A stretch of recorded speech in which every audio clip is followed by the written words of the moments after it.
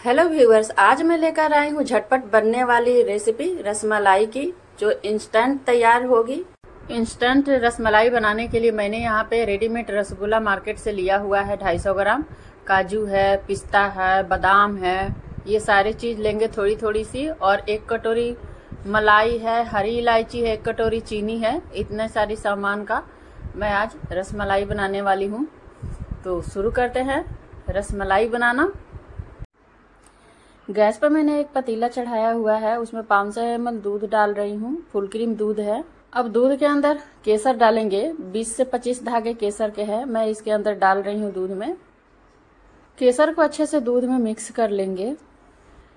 केसर ने अपना कलर छोड़ दिया है दूध के अंदर, देख सकते हैं। अब इसमें उबाल आने वाला है तो इस स्टेज पे हम इसमें चीनी भी ऐड कर देंगे। चीनी अपने मीठे के अनुसार डालना चाहिए। मैं लगभग 500 सौ दूध में डेढ़ सौ एम चीनी का इस्तेमाल किया है और इसमें मलाई डाल रही हूँ लगभग एक कटोरी भर के। मलाई भी है। हमें इससे दूध को बहुत ज़्यादा सुखाना नहीं पड़ेगा और एक चीज़ इसके अंदर मैं और डालूँगी। मैंने थोड़ी सी दूध बचा करके रखी है। देख सकते हैं, आधी कटोरी के लगभग में दूध है। इसमें मैं आधा चम्मच कस्टर्ड पाउडर डालूँगी। इससे क्या होगा, दूध जो है, हम ज़्यादा सुखाना नहीं पड़ेगा और ठीक हो जाएगा और अच्छा बनेगा हमारा रसमलाई। तो इस तरह से हम आधी छोटी चम्मच ही डालेंगे। हमें दूध को बहुत ज़्यादा थिक नहीं करना है। बस हमें सुखाना नहीं पड़े और स्वाद भी बढ़िया मिले। तो ये केसर और बादाम फ्लेवर का कस्टर्ड पाउडर है। इसे अच्छे से मिक्स करके दूध के अंदर डालूँगी। कस्टर्ड पाउडर अच्छे से मिक्स हो गया है। अब इसे दूध के अंदर डालेंगे और दूध के अंदर इसे अच्छे से मिक्स कर लेंगे। जितने ड्राई फ्रूट मैंने रखे हुए थे, वो सारे मैंने कट कर लिए हैं, पतला पतला सा।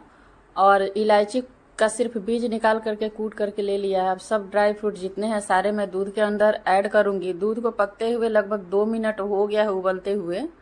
तो ड्राई फ्रूट को भी डाल करके लगभग दो से तीन मिनट दूध के साथ में पकाएँगे और ये इलायची पाउडर जा रहा है इसके अंदर ड्राई फ्रूट के साथ। अब सारे ड्राई फ्रूट्स और इलायची पाउडर को अच्छे से मिक्स करेंगे और फ्लेम को लो ही रखेंगे। अभी दूध हमारा उबल के गिर ना जाए, बस धीमी धीमी आँच पर पके अच्छे से। तो दो तीन मिनट इसे और अच्छे से पका लेंगे। ड्राई फ्रूट के साथ पकते हुए दूध तीन मिनट हो गया है। अभी अच्छे से पक गया है, देख सकते हैं। जितनी हमें गाढ़ी चाहिए, उतनी गाढ़ी दूध हो गई है। अब इसके अंदर रसगुल्ला ऐड करेंगे। अब एक एक करके सारे रसगुल्ला मैं दूध के अंदर डाल दूँगी। एक साथ डालने से छीटे उड़ेंगे दूध के तो एक साथ नहीं डाले एक एक करके डाले, क्योंकि उबलता हुआ दूध है, इसीलिए। तो एक एक करके सारे रसगुल्ले मैं दूध के अंदर ऐड कर दूँगी।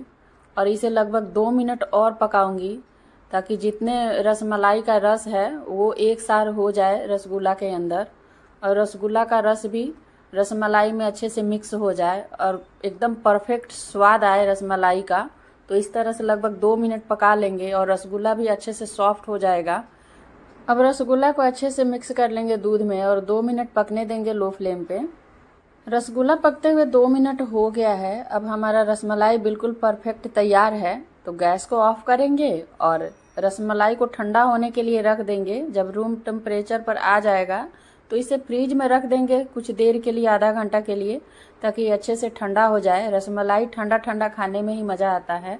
तो इसे ठंडा करके ही सर्व करेंगे। हालाँकि अभी मैं इसे गरम गरम ही एक बाउल में निकाल रही हूँ और इसे अच्छे से गार्निश करके तब मैं फ्रिज में रखूँगी, ताकि जब भी मुझे खाने का मन करे तो मुझे अलग से मेहनत करने की ज़रूरत ना पड़े। एकदम सजी धजी मुझे मिले या मेरे घर वालों को मिले तो इस तरह से मैं इसे निकाल करके अच्छे से गार्निश करके ठंडा होने के लिए रखूँगी, और तब इसे मैं सर्व करूँगी। और आप भी ज़रूर बनाइए, और हमें बताइए कैसा बना है। अगले रेसिपी के साथ मिलती हूँ। बाय।